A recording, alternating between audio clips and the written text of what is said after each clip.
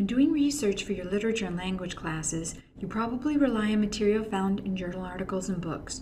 But the MLA International Bibliography also indexes scholarly websites to help you find some of the groundbreaking research projects available online. This tutorial will show you how to search for websites in the MLA Bibliography on ProQuest. The MLA Bibliography currently includes records for 2,000 websites, and more sites are being indexed every day. What can scholarship on the web do that articles and books can't? Websites can provide new ways of interacting with research. For example, the site Mapping the Republic of Letters includes an interactive map of places where editions of Voltaire's works have been published. Also, a website's ability to host videos, image galleries, and sound files provides an efficient platform for sharing visual and auditory information.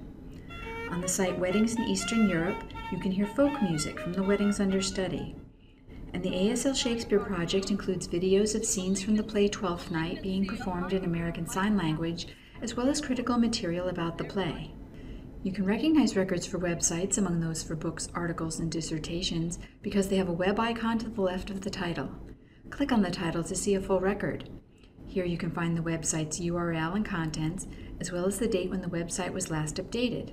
Remember, because websites can change or be updated without notice, Content may have been added to or deleted from a site since it was indexed. Some websites even get taken down from the web. In this case, the MLA bibliography changes the website activity status below the URL to no. To search for websites in the MLA bibliography, enter the topic of your search on the advanced search page. Let's say you're researching productions of Shakespeare's plays. We'll enter Shakespeare production as a keyword search. Then scroll down to the search options. In the source type section, find website in the drop-down list and check the box next to it. Then continue down to click search. Here are the results. Notice that below the search box you now see additional limits source type website. This serves as a reminder that you're only searching the website records. You can also limit a search to websites at any time after you've already begun searching.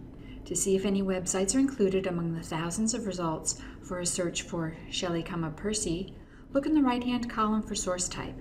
Click on the plus sign to expand this section, and then click More Options to bring up the source type pop-up window. Look for website in the list, check the box in the Include column, and select Apply to see the results. If there weren't any websites about Percy Shelley, this option wouldn't appear in the list. You can also browse the entire list of website records to see what has been included in the bibliography. To do this, leave the search boxes blank, but scroll down to Search Options Source Type.